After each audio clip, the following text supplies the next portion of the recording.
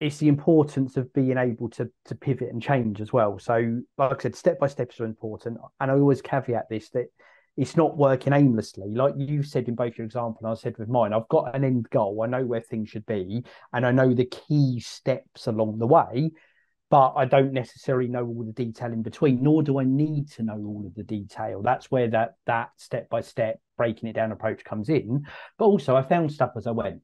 A common thing in house, I mean, I'm sure it's the case for lots of people who are in 100, 100 plus year old houses is that nothing is quite what it seems. So you open something or you remove something or you peel back something and you find all the horrors that hide underneath it. So wiring isn't like it should be. Or I had one bit, I, I um, took off a skirting board and half the plaster came off the wall where it's just really poorly filled in with filler or I had a couple of radiator leaks when I started to, to find out you know, started to move stuff around, which had always been there. I just had no reason to notice it. It was just kind of running down the back of the pipe, for example, or wiring wasn't right somewhere, etc., etc. Loads of things like that. So actually, I came up with new jobs that I had to do that weren't originally part of the plan, but became jobs to get to the end result that I didn't know were there. So the plan had to adapt and it had to change.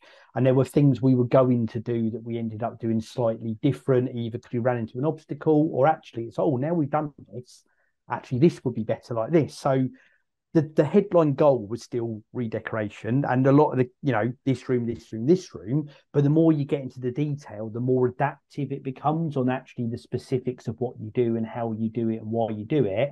And I just think that's as a part of all this kind of reaffirming a a lesson we like to talk about in breaking stuff down and keeping things small and focusing on the small picture as well as the big picture adaptation's key. If you if things start to change, if things start to move, in fact, if what you want starts to change as you move on, it's not only okay, it's actually advisable to adapt with that. In fact, if you don't adapt somewhere along the line, chances are you've not been doing it right in some way or another. I think that's I think you've got to accept that as part of the process. And when you do, you don't get thrown by it. It's not like, oh, there's something new, what's going on? You once you accept that that's what you've got to do as part of the process, I think it again just makes it a lot easier and lots manageable, breaks down the stress that comes with things. So that yeah. was my last bit. Adaptation was my last kind of bit to throw in that I know is part of the plan and I've experienced heavily during the last few months.